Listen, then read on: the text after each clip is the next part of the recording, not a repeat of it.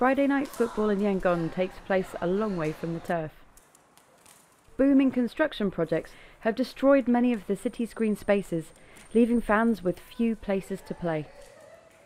But hopes are growing that grassroots projects like a new FIFA Academy will kickstart a revival of Myanmar's football scene and boost support for the national team. I don't like how the Myanmar national team plays. They need a lot of work. I hope that with time we will be successful now that there is more support for the game. Myanmar's footballing heyday was in the 1960s and 70s when it was ranked among the best teams in Asia. But they faded as junta rule saw the economy disintegrate and the country's sporting infrastructure become neglected. The country's economy needs to improve and the political situation should be stable. After that, sports can grow again. Myanmar's Football Federation is scouting for talent in 52 cities to fill more than 200 places in its three academies, including at the FIFA facility in Yangon.